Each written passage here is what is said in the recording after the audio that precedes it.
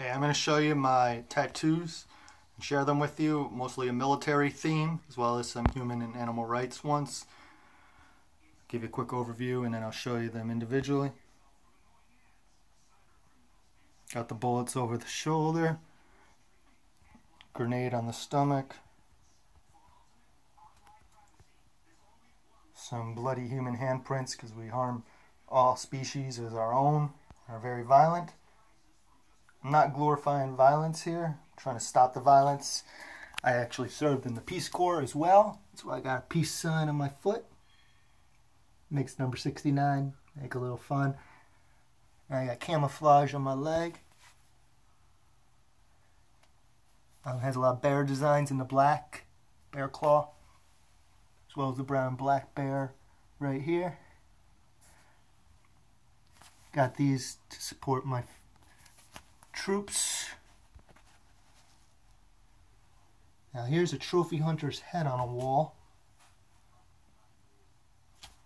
On a plaque. I think they're cowards. They should join the military and fight ISIS. Not shoot innocent animals that can't fight back. Like lions, elephants, rhinos. That these cowards will go to certain countries and poach or kill. I went to a trophy hunting expo when I was living in Houston, Texas. Tried to get people to sign up for the Marines. None of them took me up on it out of hundreds I asked. Bunch of cowards. Vegan branded on my arm.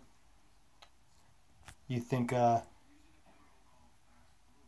these tattoos or the brand hurts, think again.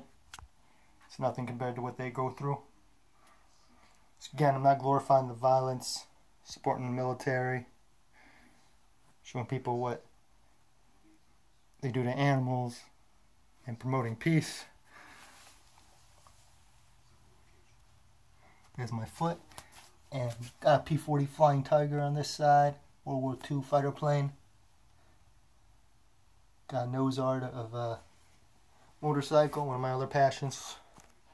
So that's it. Just want to show you some of my tattoos. Um, support our military. Support us. Serving the Peace Corps as well. So